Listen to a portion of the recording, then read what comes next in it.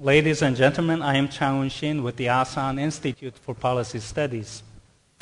Uh, let me welcome you all to this session on the topic dealing with nuclear North Korea, repeated topic over the sessions of yesterday and today. I think we will be particularly pleased that we have with us a group of eminent panelists who I'm sure will be able to offer acute insights into desirable solutions to nuclear armed North Korea at this critical juncture. To begin with, let me briefly introduce our distinguished members of this panel. Seated next to me, Professor Lee Chung-min. He is Professor of International Relations at the Graduate School of International Studies in Yonsei University. He serves as the Korean ambassador for, for national security affairs. Next to him, we have Dr. Michael O'Hanlon. He is a senior fellow with Center for 21st Century Security and Intelligence and director of research for the Foreign Policy Program at the Brookings Institution. Next to him, we have Dr. Bennett Ramberg. He is an independent foreign policy consultant and writer. He is an expert on nuclear weapons proliferation, terrorism, and international politics. And finally, next to him, we have Professor Yamaguchi Noboru. He retired as Lieutenant General and is now Professor and Director of National Defense Academy of Japan. Before we get started, let me go over just one housekeeping rule for the panel discussion.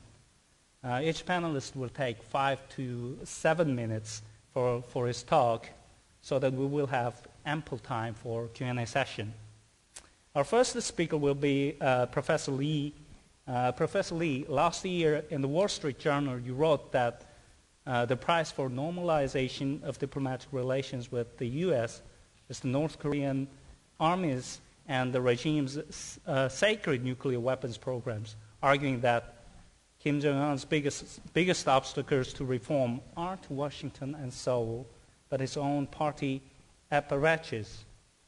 In addition, in, 19, uh, in 2009, in an IFRI's proliferation paper titled as The Evolution of Nuclear, uh, North Korean Nuclear Crisis Implications for Iran, he wrote that the last two decades we have witnessed, uh, the last two decades have witnessed the emergence of true proliferation network, pointing out North Korea as one of the members of the proliferation network 5. And you used very interesting expressions such as nuclear symbiosis or uh, nuclear cousins. Within these contexts, uh, contexts uh, could you provide us with your general assessment on nuclear threats from North Korea in order to lead our discussions. Please. Well, thank you very much. It's, it's a pleasure to be back on the panel. It's always scary when you, your moderator has actually read something you wrote. Uh, and so you're wondering, my gosh, you know, did I say anything stupid uh, or write anything really uh, rambunctious? Uh, going back to the key points, let me just begin by, since all of us in this room have worked on the nuclear issue for the last two decades, let me begin by giving you my personal assessment of what I call the three great or the four or five great myths about the North Korean nuclear problem. And, and again, I'm speaking totally in my personal capacity. One of, the, one of the enduring myths before the North Koreans actually exploded their first nuclear device back in 2006 was that North Korea had no intention to develop nuclear weapons in the first place. And even if they did, they would give it up at the right price. And a, a third, I guess, myth was that even if the North Koreans have nuclear weapons, the real reason why they have them is because of the consistent and persistent U.S. pressure. So that North Korea's insecurity is the fundamental reason, the raison d'etre why the North Koreans have nuclear weapons. And I, my personal view is that all those myths basically are, are incorrect because as we have seen with the agreed framework and other agreements, well-intentioned, have basically all failed. And they've not failed because the Americans or the South Koreans have walked away from the agreements. It's because much of the responsibility for why those agreements failed was because of North Korea's inability to abide by those terms. Now, we have heard over and over again, I'm joined in this panel by my very good friend uh, Noboru Yamaguchi. A couple of years ago, we, we met in Hawaii, and he actually told me a very interesting story. He said, you know, Changmin, we've had so many red lines that these red lines have become red carpets. And so I know Noboru, I, I, stole that because I wanted to take credit for that, although I, I am giving you credit for what you said. And over and over again, we've heard two other, I guess, assumptions. It is number one, all options are on the table. But as I've always said, all options are not on the table on the Korean Peninsula simply because of the escalatory nature of using force. And the table is becoming smaller anyways. And so every single U.S. president since Bill Clinton on down have said all options are on the table. But as I said, all options are never on the table. So let's not kid ourselves. Secretary Gates and others have said over and over again, we will never buy the same horse twice. Well, I'm afraid we are about to buy the same horse, the same pony at least, the third or fourth time. And it's not because we're led by inexperienced policymakers in Washington and Seoul. It's because we really don't have all that much of a good option. What do I think are the major forces that will drive the North Korean nuclear issue in the foreseeable future? And number one, obviously, is the extent to which Kim Jong-un holds on to power. And this is the $64,000 question. Um, how long will he remain in power? How, does, how well does he control the KPA? I really don't know. Ask Katie, and he probably has a better assessment than I do. But I think his ability to control events in North Korea are not as strong as some people assume. And so I would argue that over the longer term, next three, five years, his ability to control events perhaps will become weaker. The second major driver has nothing to do with North Korea. It is what I would call the pins. Uh, Pakistan, Iran, uh, North Korea, Syria, Afghanistan. These are all critical security issues that will impinge upon how the U.S. will be able to, to focus its attention on the North Korean nuclear problem. If Syria goes belly up, if Afghanistan worsens after the uh, U.S. withdrawal, if the situation in Pakistan becomes more unstable, if Iran crosses the nuclear threat, uh, threshold, then we're entering into a very different dynamic. And in that sense, this is why I would argue that I wrote earlier a couple of years ago, several years ago, that we've got to watch what North Korea has learned from Iran and vice versa. The third major driver is China's strategic calculus. And here I think we are watching the Chinese very carefully because for the first time in memory, I believe that President Xi Jinping and the new leadership in China has to really recalibrate their North Korea policy. Not because they love the U.S. or they love South Korea. It's because a nuclearized North Korea is their worst nightmare. And if Mr. Xi Jinping realizes this, I believe there will be a U-turn in very small degrees, but there will be a U-turn. And that U-turn, I believe, will be uh, a critical player. My final point, I think we're at a historical juncture, 20 years after the, the eruption of the nuclear crisis, we're at this really critical fork the fork has two uh, key issues. One is if we don't address this issue from a very holistic perspective, in the next four or five years, the North Koreans could have 20, 30 plus nuclear warheads. And if they miniaturize a warhead on a ballistic missile with intercontinental capabilities, that is the worst nightmare for the U.S. And so we've got to really wake up to that issue and then convince the Chinese that if the Chinese don't come on board, there will be consequences. The second point people have mentioned about strengthening the U.S., Japan, Korea security cooperation, I wholeheartedly agree, despite the fact that we've had difficulty with the Japanese. And above and beyond the North Korean nuclear issue, I think it is time that the Americans and the South Koreans and the Japanese uh, get together and basically think about a roadmap that enables them to overcome uh, key political hurdles. This will take a lot of um, uh, hand-holding and lots of patient dialogue between Seoul and Tokyo and Washington. but I remain hopeful that over the course of the next year or so, despite ongoing issues, we will be able to preserve a very robust and forward-looking uh, U.S.-Korea-Japan relationship. I'll end there. Okay, thank you very much, Professor Lee. Uh, bearing in mind the myths provided by Professor Lee, now let us invite uh, Dr. O'Hanlon.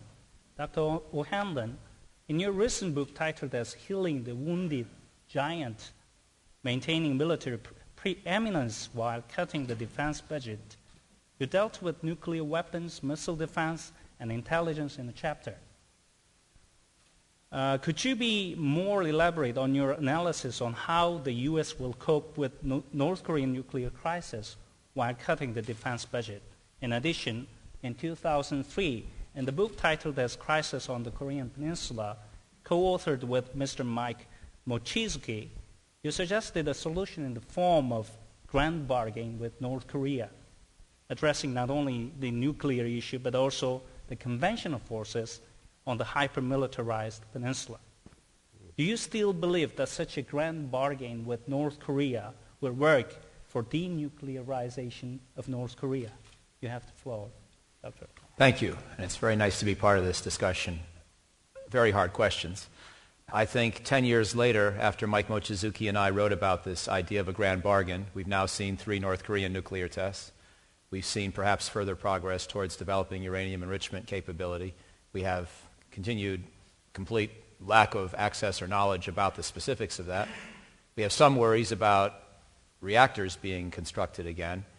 And we've had things like the Cheonan. So it hasn't been exactly a very good 10 years.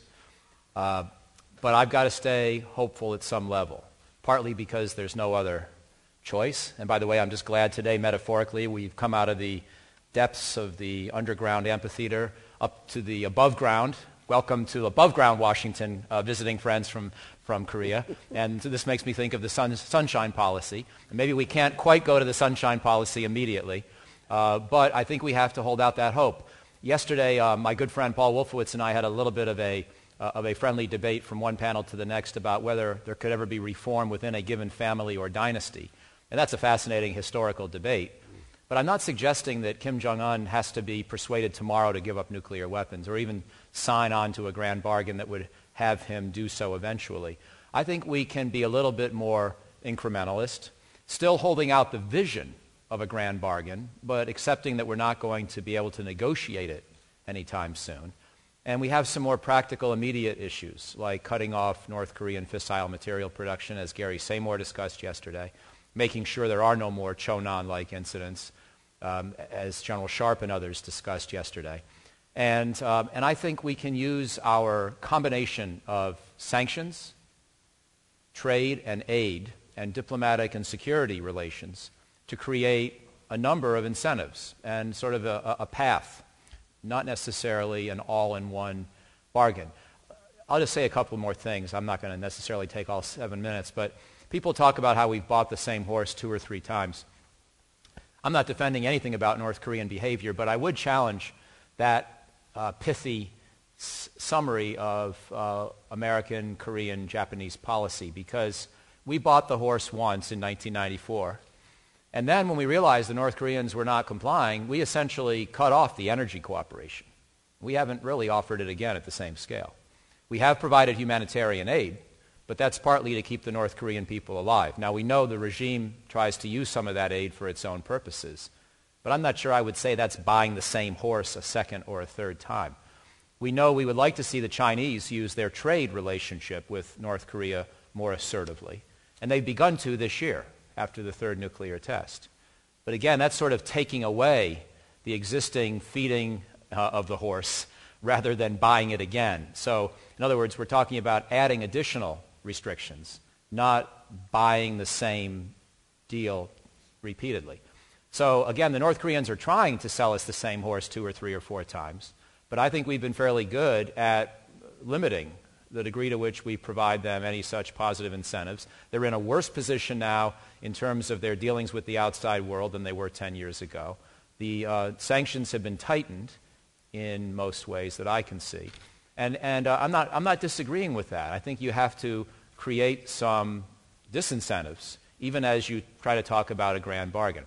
So the last point I would make, and it reiterates an argument I've been trying to introduce this year specifically, is that if we do see a need for additional sanctions, if Kim Jong-un uh, lets his generals or whoever make some bad decisions again, like they did earlier this year, I would argue for additional sanctions that are temporary and naturally and automatically sunsetting. Because I think even as we send a message of firmness with one hand, we need to send a message of hopefulness and openness with the other. The only way I can see how to do that is to make sanctions meaningful, but also make any additional sanctions temporary. So you create an incentive for North Korea not to repeat the same bad behavior. I still think we have to hope that over time Kim Jong un may turn out to be at least partially reformist. Not because he's a nice guy, not because he wants to lose power, but for exactly the opposite reason that he comes to the realization that he won't be able to hold on to power for half a century which is presumably his goal, unless he makes some changes. So we've got to think about all of our policies with an eye towards making that kind of outcome possible, and it may take five or ten years.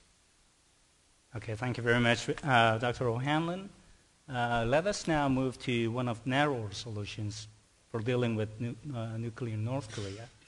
Uh, Dr. Ramberg, uh, this May, uh, the argument made by you appeared on the magazine, uh, I mean the internet version of the magazine, Foreign Policy, under the thought provoking title, Send the Nukes Back to South Korea, with subtitle, At the Stroke of Pan, President uh, Obama could reassure a key ally and put Pyongyang back in its box. Here's how.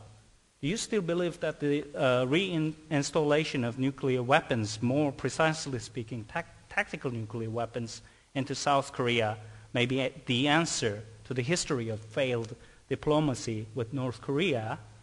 If affirmative, could you be more elaborate on the justification for your argument? In addition, could you tell us another concrete measures, I mean options, if you have, that could be taken jointly within the context of Korea-U.S. alliance to achieve our common goal the denuclearization of North Korea. Well, thank you for the introduction, and, and, I want to thank the host for inviting me to this presentation. That's one of three arguments I'm going to be talking about today. I come with a pessimistic point of view with regard to North Korea. Frankly, North Korea is not going to give up its nuclear weapons. No negotiation, no carrots, no sticks are going to allow North Korea to give up their nuclear weapons. In fact, let's look at history, which informs me uh, with regard to giving up nuclear weapons. We've only had two cases in history Am I being heard here? Two cases in history where nuclear weapons have been given up by countries. One case was South Africa, which was mentioned in a question, uh, question yesterday. Why did it give it up? You had the end of the apartheid regime. Then you have the case of the former Soviet Union, where three republics had the bomb after the, uh, the country, uh, four republics actually, after the country uh, dissolved. And Russia kept its nuclear arsenal. The other three gave up either nuclear weapons material or weapons themselves. Belarus and Ukraine gave up weapons they made the judgment under U.S. and Russian pressure to be sure to, uh, uh, uh, they gave up th- their weapons, but one of the considerations for the giving up of the weapons was a, an evaluation. They felt they'd be less secure with nuclear weapons, less secure with nuclear weapons than with weapons. So for the North Korean point of view, that's not the case. What we find in North Korea is nuclear weapons provide a security, a vital security ba- blanket and let's not be so smug about this with regard to other countries around the world. For every country today that has nuclear weapons, nuclear weapons provides a security blanket, including the United States. We're not going to give up under the Obama plan, the most current uh, proposal, we, are going to go down to 1,000 nuclear weapons. For the North Koreans, this uh, nuclear program represents a, a great uh, national investment. Think about it. A very poor country has invested in this, in this arsenal, developed the nuclear weapons with limited resources. It secures the regime in splendid isolation and don't bank on regime collapse. We've been suggesting that we see regime collapse going back to the Clinton administration. So what are the options we have to deal with North Korea? I think we can look at the options through the lens of what I call arms control. And I know that typically when people think of arms control, they think of bean counting. You have country A and you have country B, and we're dropping down the arsenals of both countries. That's not the definition that I'm going to be using of arms control. It's anything that reduces the probability of war. This is a definition drawn from the Nobel Prize winner Thomas Schelling. Anything that reduces the probability of war. And so let me put forward some uh, unorthodox options. These are options to deal with North Korea. not convictions. One option, I'm just going to list the options at first and then elaborate them uh, within the limited time I have. One option would be to recognize North Korea as a nuclear armed state and offer, I'm, ta- I'm talking from an American point of view, offer unconditional diplomatic relations. Another option, the entirely opposite of option number one, would, li- would be to leave North Korea alone, let North Korea stew on, in its own dysfunction, and let the Chinese government prop it up. Then there's option three, which uh, my uh, moderator mentioned, which would be to return uh, nuclear weapons to South Korea and possibly use this as leverage to denuclearize the peninsula, as we saw in Europe in the 1980s when we eliminated a class of nuclear weapons in uh, Western Europe and in the Soviet Union. So let me go through these options. Re- recognize North Korea as a nuclear armed state and offer North Korea, that is the United States, unconditional diplomatic relations. I know there's some people who are going to say, mine, oy vey, I mean, what is this guy talking about? But we've seen this before in history. Think about it. When Richard Nixon went to China, he didn't ask the Chinese to disarm. He didn't ask the Chinese to eliminate its nuclear weapon. And Chinese at that time, and for the preceding decade or two, was the bête noire of the United States, a far graver risk uh, than North Korea is today. Yet the Nixon administration did not make that demand of China. He asked for normalization of relations, and those relations followed uh, uh, in, in, time. So let's assume that we apply this policy to North Korea. What are the pluses, the benefits, and the harms of applying recognition of the North Korean state and unconditional uh, diplomatic relations? Uh, as far as harm, let me start with harms. It will legitimize a very bellicose nuclear state next to South Korea, and uh, which has posed threats to that country, nuclear threats, as well as threats to the United States. It would buttress the regime. The regime would be beating its chest saying, we beat you at this, if he recognized them as a nuclear armed state. It would certainly blow a hole through the Nuclear Nonproliferation Treaty, suggesting to Iran and other countries, North Korea could beat the United States, and so will we. It would allow Pyongyang to gain diplomatic relations by allowing to, Pyongyang to extort concessions from the United States if we, rep, uh, if we recognize the North Korean regime. However, consider some of the benefits. It reflects reality. It reflects reality. North Korea is a nuclear arming state at the very least. It would provide, that is diplomatic recognition, would provide a window, of, uh, a window into North Korea. We'd have people on the ground in North Korea, something we don't have today. It would allow for communication in crisis. We don't have good communication in crisis. It would reduce North Korea's isolation. Hopefully, diplomatic relations would open up other venues with regard to commerce and other things. Consider the alternative a reclusive, isolated, paranoid a nuclear North Korea with poor intelligence and uncertain command and control, with, uh, with its finger on the trigger. Is this what we want, or do we want to provide better communication, better interface with North Korea? That is option number one. Option number two, leave North Korea alone, let North Korea stew in its own dysfunction with Chinese support. You know, consider we've been involved in North Korea, as people have mentioned, for some 20 years. The North Koreans committed themselves to nuclear nonproliferation in 1985. In 1991, North and South Korea agreed to nuclear, uh, denuclearization of the peninsula. They violated that.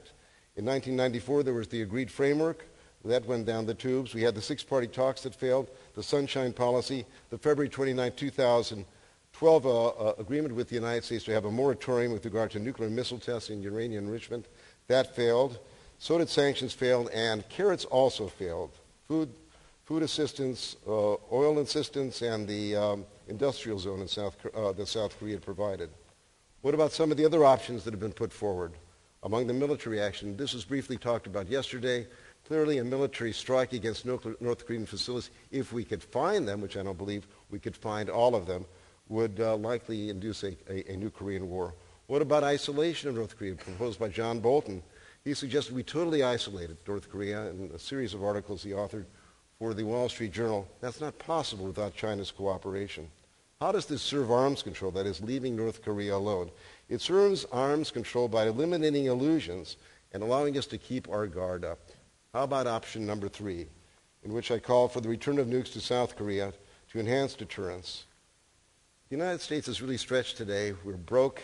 we can't uh, meet uh, many of our uh, needs as we look to the future allowing nuclear weapons to return to uh, South Korea actually is a cheap way to enhance deterrence. It, uh, it broaches a policy that we followed from 1958 uh, to 1990 when the Eisenhower administration concluded we could get deterrence on the cheap with the presence of uh, nuclear weapons on the peninsula? What about the offshore capacity, which we demonstrated in recent military exercises, the flying in of bombers from Missouri and Guam? These are planes that fly in and fly out. Would they provide the enduring commitment that the South Koreans would feel comfortable with? I'm raising this as an open question. Uh, with nuclear weapons on the, on the South, in South Korea, it would reduce South Korea's incentive to get the bomb and could be sold to the PRC on grounds that with the bomb, with our bomb in South Korea, South Korea would not be incentivized to nuclearize. It, reduce, it would reduce North Korea's gaming uh, of nukes to prevent blackmail and intimidation, and would offer a bargaining chip, possible bargaining chip, similar to what we found in Europe in the 1980s when the Reagan administration placed Pershing uh, missiles in Europe to combat the missiles that the Soviet Union placed in the western part of the country, intermediate missiles, resulting in the INF agreement. However, there are risks here for this particular proposal. It would increase tensions with, uh, with Pyongyang. It would nonetheless raise China's ire and would undermine the President Obama's non-proliferation policy. Of the three options that I put forward, I was always disposed to option number one. That is, recognizing North Korea as a nuclear armed state and recognizing the regime diplomatically. But the more I thought of it, given the way North Korea's game things, I've concluded that North Korea would extort diplomatic relations. My conclusion draws from the, fi- from the probability that North Korea would say, once diplomatic relations would be established, look, to continue these relations, well, we, North Korea, are demanding that the United States remove troops from South Korea. Then the Western Pacific, there would be a gaming process. So I'm most disposed, as I think about these three options, to option number two, Leave North Korea alone. Let North Korea stew in its own dysfunction with uh, Chinese sustenance to the North Korean regime if it wants. With one qualification. Now the North Koreans have been demanding or calling for a resumption of negotiations. I would tell the North Koreans this. Uh, if you allow international inspectors back into North Korea with the authority the inspectors had in Iraq from 1991 to 1994 to visit all suspect nuclear sites and disable all suspect nuclear weapons, and weapons materials and weapons functions, we'll be able to talk to you at that point in time. Aside from that, uh, there's nothing to talk about. Thank you very much. Okay, thank you very much, Dr. Ramberg. Uh, we now have yes, Professor Yamaguchi. Uh, Professor Yamaguchi, the day before yesterday, uh, when we met at the Narita airport in Tokyo, uh, you told me a cynical, the same cynical joke with regard to red lines as you did to Professor Lee. In addition to the joke, uh, we have exchanged our concerns over recent conflicts with your neighbor countries over the interpretation of history, because Korea, Japan, and China share various areas of cooperation for non-proliferation as well as counter-proliferation. With this regard, could you tell us some prospective role of Japan in the efforts to accomplish non-proliferation as well as counter-proliferation of nuclear weapons, related materials and technology from North Korea, even under these hard time circumstances created by recent conflicts over historical issues, as evidenced by the failure of the conclusion of GSOMIA, General Security of Military Information Agreement. Please. Thank you very much. Uh, thank you very much. Uh, I, would like to thank to, to Asan Institute uh, for uh, inviting me uh, to this really uh, important event. Thank you very much, Dr. Han.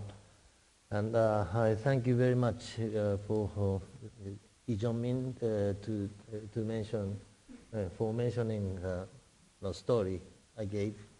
But I have to confess that two things. Um, one point I I have to confess is that uh, I, I, I owe a lot to, to Lee Chung-min.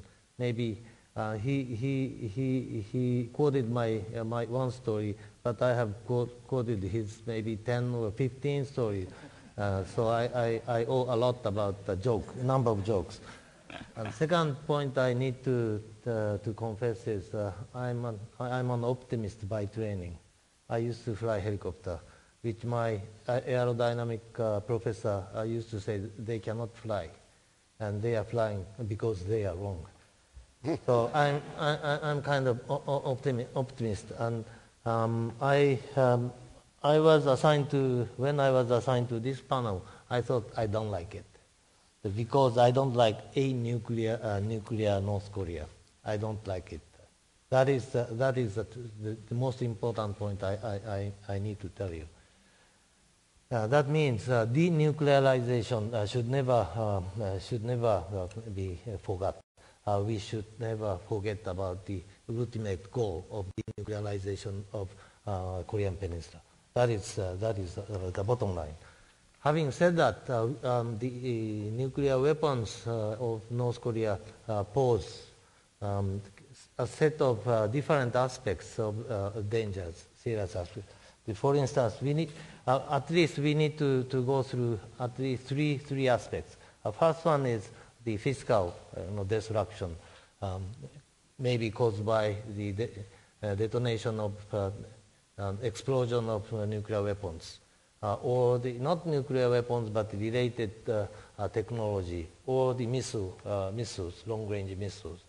So what, that is one, but I, I, what reason why I'm talking about this is, you know, from one aspect to another, the U.S., Japan, Korea, China, uh, Russia, and other countries may have uh, different views, uh, different sensitivities uh, on those uh, aspects of dangers.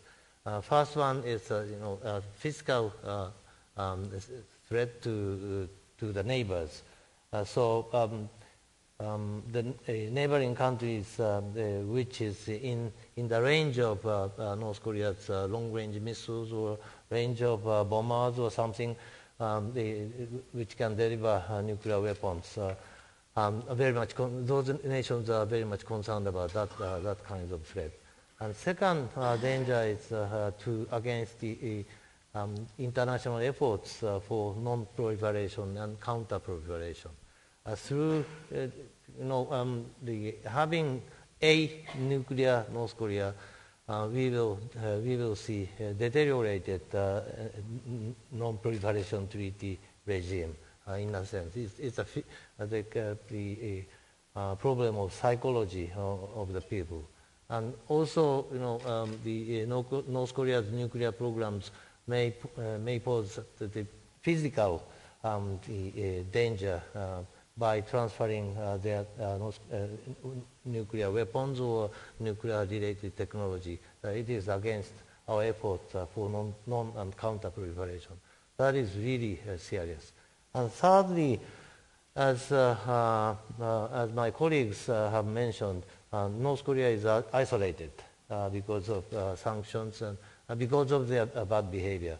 that isolation may cause further provocation or uh, no, um, further provocation or um, the, the, difficulties in economy and politics uh, inside North Korea that may pose that may cause the really serious unrest. Uh, that may uh, have a spillover uh, to, to neighboring countries, or even um, you know, like uh, uh, like an event which may require military involvement of China or the U.S. or South Korea. So those three, at least three kinds of um, dangers are existing, and you know um, any kind, any any of uh, them can happen today or tomorrow. And then uh, the sensitivity among us may differ uh, from, um, from US, Japan to Korea or China. And those differences should be discussed at, at the beginning. And otherwise, uh, we, we cannot uh, set the priority uh, in, in a correct way. So that is a starting point for, for the discussion um, on, on this, this, this topic. Okay, thank you very much. Well, uh, now we shall turn to the audience for comments and questions. Uh, if you have comments or questions, please raise your hands and I'll identify yourself, and I'll try to, well, take the questions in order. Okay,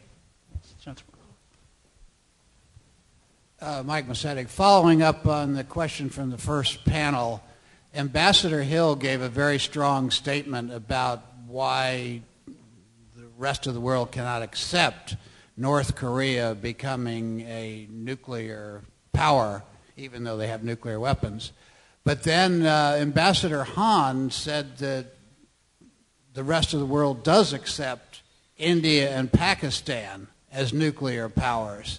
I don't know whether this is a definitional issue, because given Pakistan's record on nonproliferation, supporting terrorism, a military that has no civilian control, why one is more acceptable than the other, and doesn't this selective definition of what we accept and don't accept undermine the entire principle of nonproliferation, especially when we try and apply it to North Korea?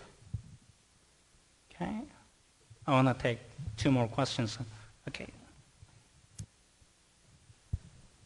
Uh, I'm Larry Niksch from uh, CSIS. I want to ask about the counter-proliferation policy, which was announced in March and stems back to the decision in December 2010 to develop a policy of retaliating militarily against North Korean provocations similar to what happened in November 2010 with the shelling of uh, Yeonpyeong Island.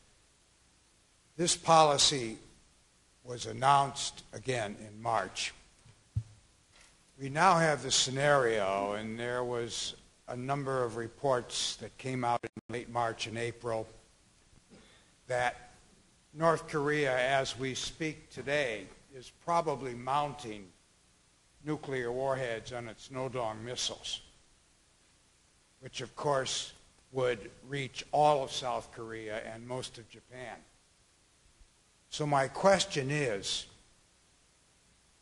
what kind of challenge or challenges to the planning for the counter provocation policy and, if necessary, the implementation of this implementation of this policy would a North Korean actual warheading capability pose to the ROK in the U.S. in planning for and, if necessary, implementing counter-provocation policy? Okay, one more questions? No? Okay. Who will take the questions first? Okay, I'll handle it, Doctor. Sure. Uh, two great questions. I won't, well, I'll say a brief word about each. Uh, North Korea versus Pakistan, very interesting case study. Uh, I, would, I, would, acknowledge and agree with your point, sir, that there is um, a lack of a completely clear case as to why one is largely accepted by the international community in the sense we still do normal trade with Pakistan and so forth. Uh, the other is not. I would argue that Pakistan is one more Mumbai away from becoming in North Korea's category. And I hope Pakistani friends recognize that. And I'm relieved that at least it's been five years since the last Mumbai, and I hope there'll never be another one. In other words, North Korea is, uh, as a matter of state policy, uh, essentially extraordinarily oppressive towards its own people and still belligerent uh, towards its southern neighbor in the sense of, frankly, not recognizing the existence of that neighbor. You could argue as to how much worse that is than the way Pakistan behaves towards India, but at least Pakistan has a, a certain amount of thriving internal political life and space, and the regime doesn't consistently make war with its own people.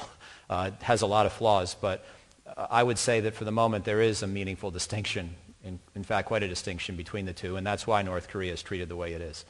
And that means that North Korea has uh, a route before it to get relief from this sort of treatment, which is to act better towards the international community and its own people. And it doesn't have to solve every problem at once. I may or may not uh, fully go along with the notion that North Korea is going to keep nuclear weapons forever. Uh, but I don't think we have to necessarily settle that matter for now because they certainly are going to keep them for a long time. If we can just see them start, start to limit their arsenal, improve their behavior, scale back a little bit their military, lighten up a little bit on their human rights oppression towards their own people, see incremental steps, we can begin to see the world engage with them more fully, and they can move closer to a Pakistan category in terms of how they're treated. That would be one very brief point. On the, on the issue of nuclear weapons being mated to um, ballistic missile uh, capabilities that Larry raised, I would just very, there's a lot to discuss, of course. It's a big question. I'm glad you put it on the table because it certainly belongs in a panel dealing with a nuclear North Korea. Uh, I, I, do think we have to uh, probably uh, militarily think through the scenario where nuclear weapons are used against our troops or our air bases or our ports.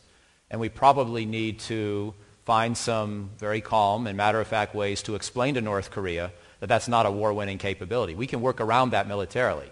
We cannot necessarily protect all the citizens of Seoul from the consequences of a nuclear attack. We will try, but we may fail. However, North Korea should have no illusions that if it tries any kind of nuclear weapons employment, it will not change. In fact, it will guarantee the very outcome that it presumably would like to prevent, which is the overthrow of the regime. And we may need to, uh, in ways that we got used to doing in the Cold War, explain the details, some of the military details of why we have redundant access to a number of air facilities, redundant access to a number of ports, way that, ways that we can repair ports, even if they've been hit by a nuclear weapon, uh, other kinds of arguments that will explain to the North Koreans there's nothing to gain from the usage of nuclear weapons. And I hope the North Koreans are not really thinking seriously about using them, but we might as well make sure. And Dr. Ramberg? Yeah, I, uh, with regard to Pakistan, we, we bent our nonproliferation policy towards Pakistan because it occurred at a time when the United States was supporting the Mujahideen uh, uh, against the Russians. And so we had conflicting interests. We tried to apply sanctions to Pakistan, but then again we, lift, uh, we, we, decided to lift the sanctions, as we did more recently against India. Uh, we couldn't beat it, so we decided to use other policies to try to corral it, so to speak. So uh, that's with regard to India. Uh, but both are nuclear-armed states, of course. Um, but as I suggested with regard to North Korea, I think we have to broaden our horizons as we're trying to deal with this. The, ma- the, the, the concern I have about North Korea is managing a country with a nuclear weapon. And North Korea po- uh, poses unique challenges. And I, I presented several options. I think they're out of the box.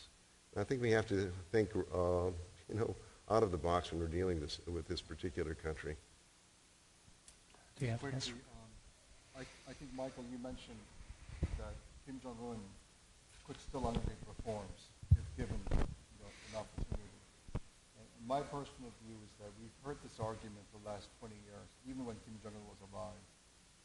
And I think North Korea's ability to undertake reforms, economic reforms, is very, very difficult because of the political costs of reforms. Am I being heard? This microphones.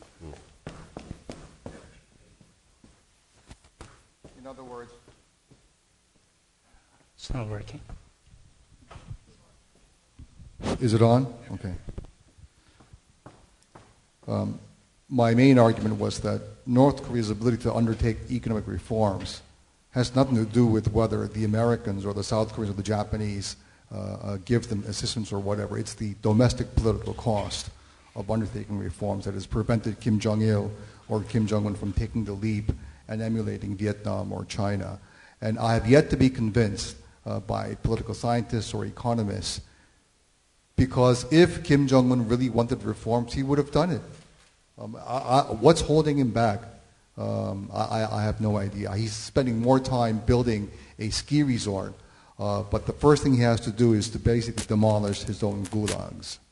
Uh, on, the, on the nuclear issue, of course, the NPT by definition is uh, unfair. But I would argue that if the world gives North Korea de facto recognition, it would trigger a chain of events that would almost be uh, certainly negative on the part of South Koreans and Japanese. Um, on Larry's question on whether what we would do if the North Koreans get ICBMs with nuclear warheads, well, obviously there will be greater emphasis on theater missile defense, uh, much more robust uh, Japanese and South Korean defense responses, uh, maybe a military doctrine review, but I think at that point, both our Japanese friends and the South Koreans would have to say, okay, do we want to have our own nuclear deterrent? And my answer is no. Uh, even at that particular point, I would argue that we would still need a very robust U.S. Uh, nuclear umbrella. Could I just Professor one? uh, Yamaguchi, I'll wait. have two Sorry. fingers. Okay, just quick. Um, um, I have a problem with uh, uh, wording uh, North Korea with nuclear weapon forever. I, I, I, I don't like to predict the future, but uh, one thing I can predict is uh, Korea will be unified before forever. uh, Dr. O'Hanlon? I, yeah, I just wanted, uh, you know, I agree that the overall body of evidence suggests that the prospects for reform in North Korea are mediocre at best. So I think that you need to also look at the second order benefits of laying out a strategy that allows for the possibility of reform without, without expecting it. One benefit is it keeps us unified with dealing with China. Hmm. because China does not go along with a pure hardline approach from Washington and Seoul and Tokyo. It doesn't. And so if we have nothing but a hardline answer to the question of how to deal with North Korea, then we're going to have risks of losing whatever Chinese cooperation we're now beginning to get. A second benefit is that even if we don't ever persuade Kim Jong-un to give up all of his nuclear weapons, we would at least like to see him stop making more. And I think there's a real difference between 1 and 10 and 100 in terms of proliferation risks, among other things. And so trying to induce him to even undertake minimal economic reforms as part of a package deal that lets him, for a certain period of time, hold on to whatever arsenal he's got. It doesn't mean you have to formally recognize it, but as a, as a practical matter, you can agree you're not going to try to negotiate it away for a certain number of years, and you're going to try to stop the fissile material production. And then the amount of aid that you provide will be limited because if he's not giving up all of his nuclear weapons and that's still your goal, you can't reward him with a lot of aid. But you can lift some sanctions. You can provide limited, targeted economic help. And that outcome is much better than a North Korea that's building 10 or 20 nuclear weapons per year. So I'm thinking also about second best and third best outcomes, not just the goal of hopefully uh, seeing Kim Jong-un reform his country. Right, but at what but at what point do you have what assurance do you have, Michael, that even this sort of new freeze number one, will be accepted by Kim Jong un. And at some point down the road, you'd have to say, well, CVID is our ultimate goal, isn't it? Well, on the second one, I think there's a lot of room for finessing. And I just think, speaking of out of the box, wasn't one of your options necessarily, but I agree with the general point. We don't necessarily have to make this a theolo- theological matter of yes or no uh, nuclear power or not. There's actually some shades of gray. And, and if we can stop the growth of that arsenal, we can live with a lot of uncertainty on the prospects for complete denuclearization down the road. So to me, that's the, the core issue. But I, I very much accept your point on the first matter, which is that we're going to need to have some access to see centrifuges dismantled. And it doesn't have to be the United States. It has to perhaps to be the Chinese or the Russians or the IAEA but we're going to need to have that before we actually provide any kind of energy help, for example. There has to be some sense of verification that we're not seeing increased production. And, and you'll point out, and you'll be right, that what about the sites they don't declare? Um, so we're never going to be 100% sure that we've seen everything. But I would, I would reward uh, partial dismantlement with limited sanctions relief and maybe even a little bit of aid. Okay, all right. Yes, for the second round, I'll take two, two more questions. Yes, Chris Nelson. Thanks so much, uh, Chris Nelson, Nelson Report. Another really great discussion. Um, uh, I, have, I have a question uh, mainly for my fellow Gettysburg veteran, General Yamaguchi, uh, which I'll, I'll get to in a minute.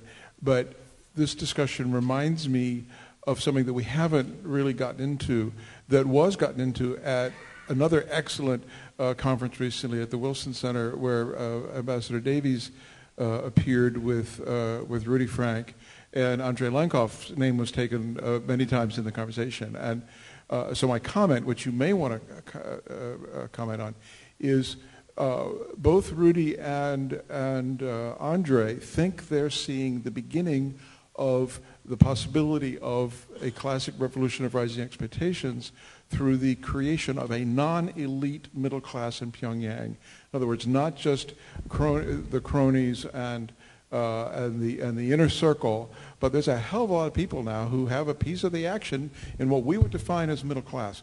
History shows us there are certain things that happen when that takes place. Uh, so uh, maybe we need to think about that when we're saying reform is impossible because of the control uh, regime. Uh, that's an interesting thing because neither Andre or Rudy are, are, naive about this stuff, having watched it happen.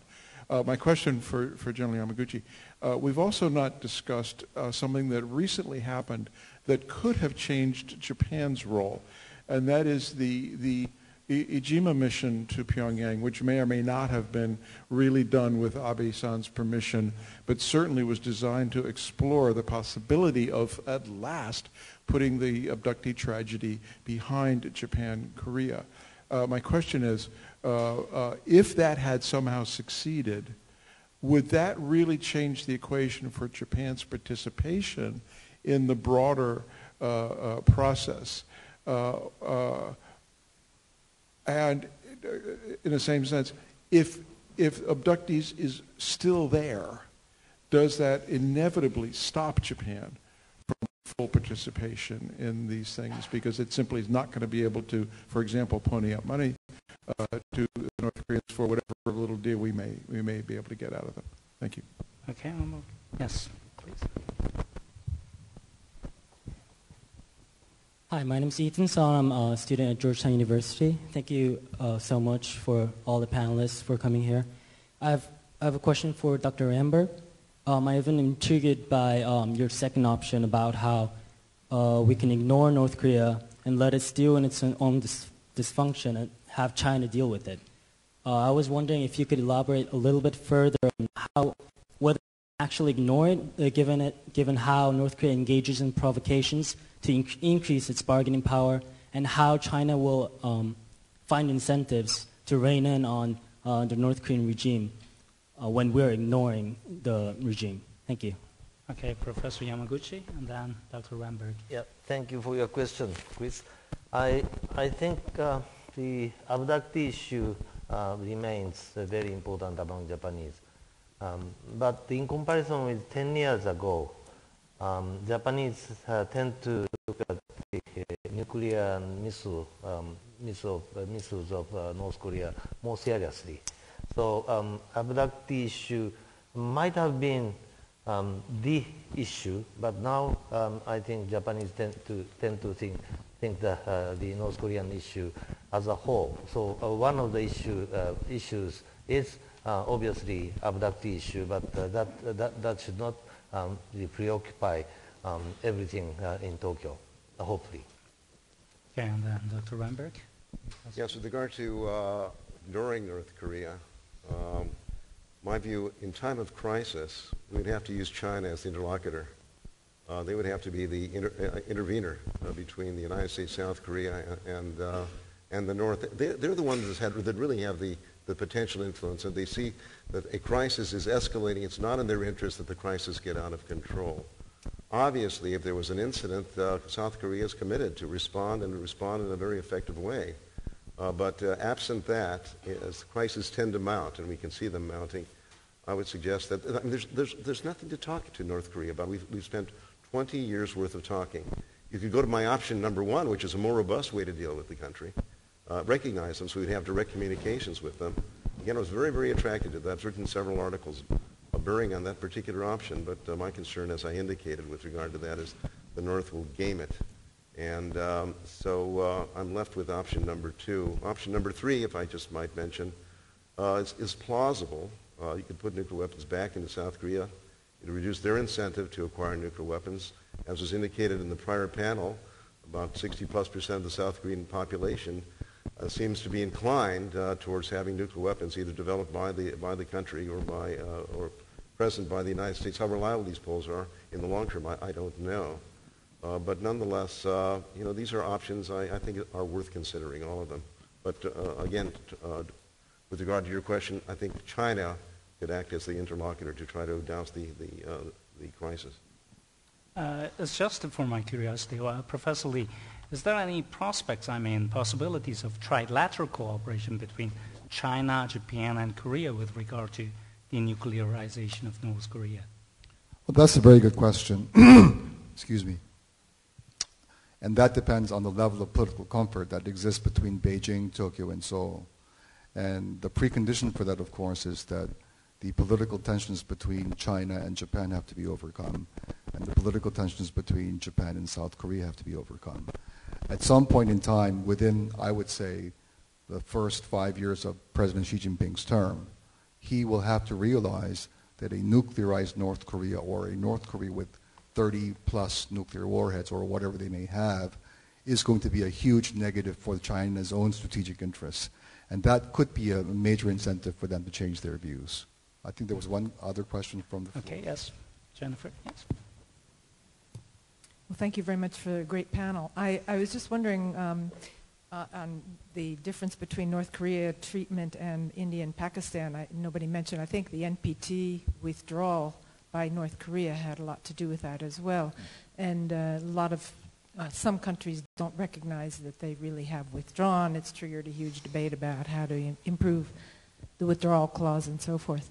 But I would also like to ask Michael how he thinks that he could, you could prevent North Korea from developing more nuclear weapons. Developing more. More. Because you seem to think that would be one way, and I agree, but how do you keep them from making more? Well, I guess there's, Jennifer, thanks for the question. There are uh, obviously technical verification matters about which you've written very eloquently. There are also broader strategic matters about how do you structure a deal such that it's appealing enough for them to be willing. And I know we've got a variety of views on this panel about, on the, on the latter subject, whether they ever would. On the former issue, I think, as we discussed yesterday a little bit with Gary Samore and David Sanger, you'd have to have some degree of uh, additional protocol like privileges for the IAEA to go to more places than just declared sites in North Korea. They may not be able to find them, even if they have that right. But that's got to be any, if you're really meaningfully talking about denuclearization. Having said that, that's part of why I actually agree that in the short term, the North Koreans are not going to denuclearize. And it's, it's almost too big of an ambition in the short term. Uh, I think the North Koreans need to know that they want the full range of help uh, with their economy and otherwise that I hope someday they will recognize they need, but they haven't yet gotten there.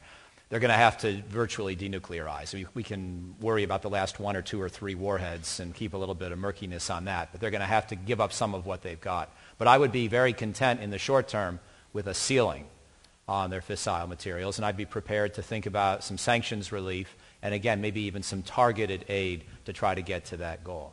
And I'd like them all to know at the same time that if they misbehave further, that the Chinese may even think about restricting some of the existing trade. So I, I think it's got to be carrot and stick, which is part of why you've got to have a story that's appealing enough and that has enough of a positive side to get Beijing interested in being part of this process. Because if we don't have Beijing with us, everything else becomes much harder. I know that's just an incomplete answer to your question. Okay. I have, um, you know, two, po- two comments on, the, on um, the discussion. Um, regardless uh, which scenario um, we go or we follow up, regardless which option uh, we take, um, important thing is you know, um, South Korea is not going nuclear. Japan's not going nuclear. Uh, really important uh, in terms of uh, uh, in terms of uh, the preventing further proliferation of nuclear weapons. That should be regarded, uh, uh, no, uh, should be thought. And also, in order to, to keep that condition, U.S. extended extended deterrence is really important to to to to see to to achieve the ultimate goal of de- denuclearization of, of, of the Korean Peninsula. Mm. And and also, Jap- Japanese have have have to work really really hard uh, to, to, to restore the relations uh, with Koreans and Chinese. Uh-huh. Thank you. And more questions and comments from the audience? Okay, yes, yes. Uh, my name is Mike Meserve. I'm a foreign, uh, former Foreign Service officer. I was a Korea watcher in Beijing from 1989 to 1991, 92. And at that point, uh, Jim Lilley, who was our ambassador and previously ambassador in Seoul, spent an enormous amount of time probing to find how close the lips and teeth relationship between the North Koreans and the Chinese really was. Mm-hmm. Uh, he, there was a PLA general who was an ethnic Korean, Zhao Nanqi, who proved to have a very negative view of North Korea. It, uh, a number of the North Korea watchers, uh, all Chinese and experts, people who had graduated from Kim Il-sung University, uh, the uh, Ning Fukui is a, a, good example, who later became ambassador in Seoul, had pretty negative attitudes expressed privately about the, uh, uh, the North Koreans. And so I'd like to ask you, and particularly uh, Mr. Ramberg, if you want China to be an interlocutor, do you think there are people there? Do you think truly, truly there is a, a warmer and closer relationship in some way between the Chinese and the North Koreans than the North Koreans have with any other mm-hmm. country? Because I think on the ground, at the granular level, the evidence is that that's not there the Chinese, in a sense, have chosen your option number one. Uh, tacit recognition of North Korea as a nuclear state, full diplomatic uh, relations, a certain degree of economic exchange, in hopes that eventually, over time, things will get better. Uh, but aside from that, uh, my personal view is that the, the North Koreans and the Chinese do not have a special relationship. As a matter of fact, all the irritations expressed about North Koreans that everybody has are shared by the Chinese. And I'd like reactions of the panel to that, that Okay. observation. And the final floor to Kathy.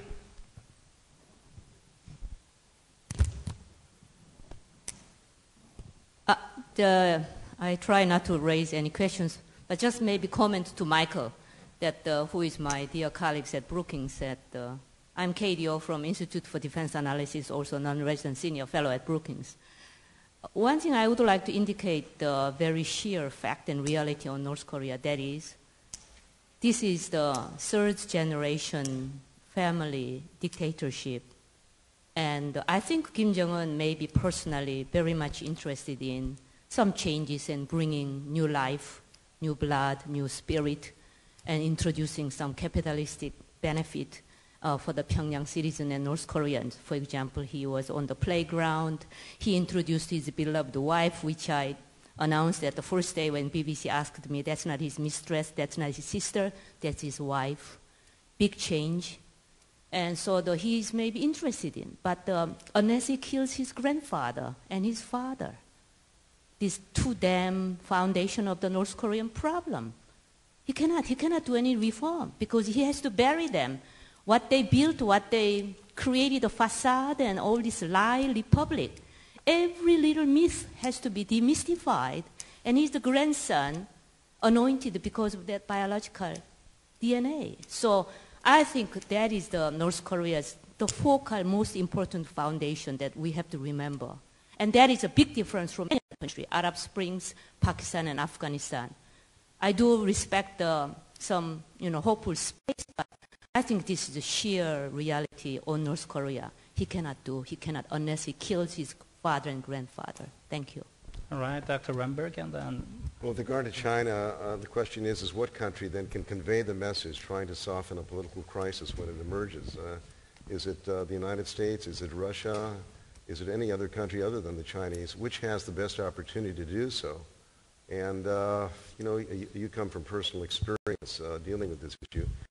There was contempt by the Chinese that you, inter- that you interfaced with. But uh, if you adopt option number two, as I suggested, it's the, the best option to communicate, I believe, or the best uh, vehicle or country to communicate messages to the North. The United States doesn't, uh, we, we can meet at the United Nations, for example, with North, North, North representatives. But uh, if you have a country that has some clout uh, versus no clout, I think that would be the best option uh, if you adopt option number two. Option, there's obviously option number one.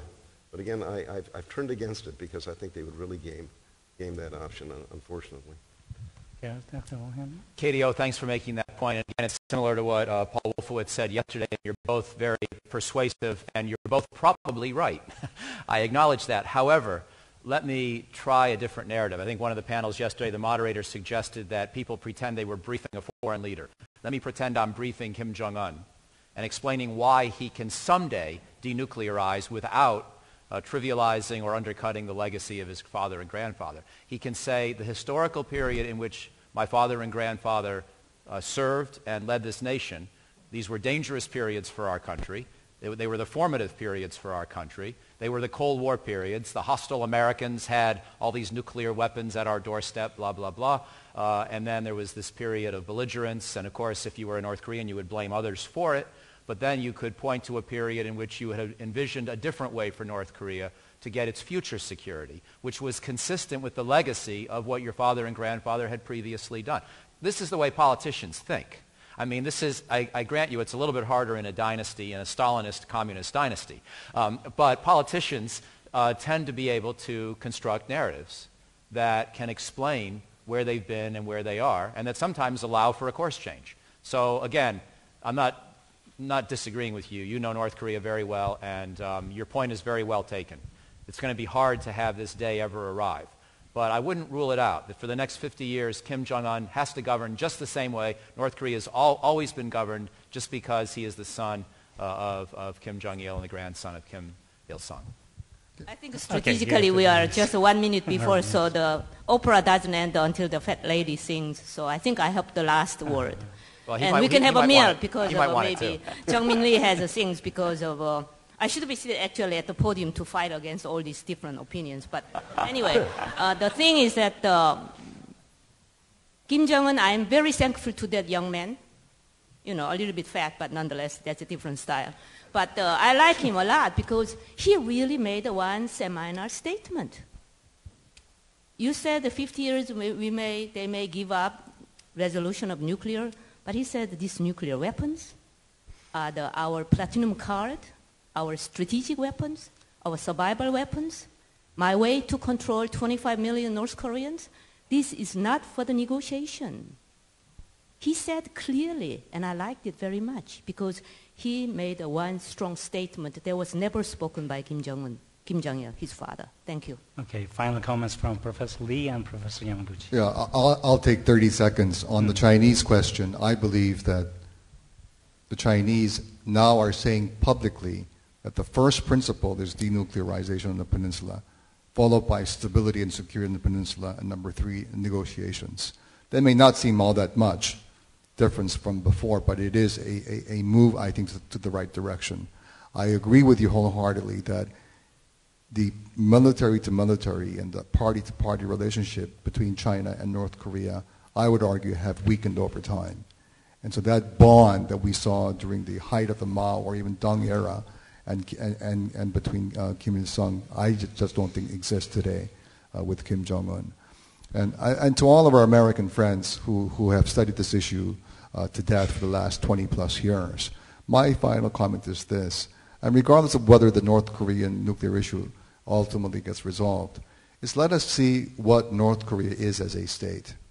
And any country that basically has the most egregious human rights record on the planet. Uh, name me one country that has gulags today where there are over 300,000 political prisoners. Name me one country that, a, that, that basically starves its own people uh, for political purposes. Uh, name me one country that spends more money on defense and nuclear and WMD programs than, than feeding its own people. So, you know, uh, we can have differences over approaches. But I would argue that if Americans are so gung-ho about human rights and about civilian, uh, civil society and human rights and freedom and so forth, why don't you speak out more on, on North Korea's uh, egregious violation of human rights? And the same thing goes for South Koreans. And, and that has nothing to do with nuclear weapons. We'll talk about this over, over the next session. But that is perhaps a bigger, bigger issue uh, than North Korea with nuclear weapons. And Professor Yamaguchi? Which, no, no. Okay, thank you very much. Uh, let us, well, thank all the panelists with warmest applause.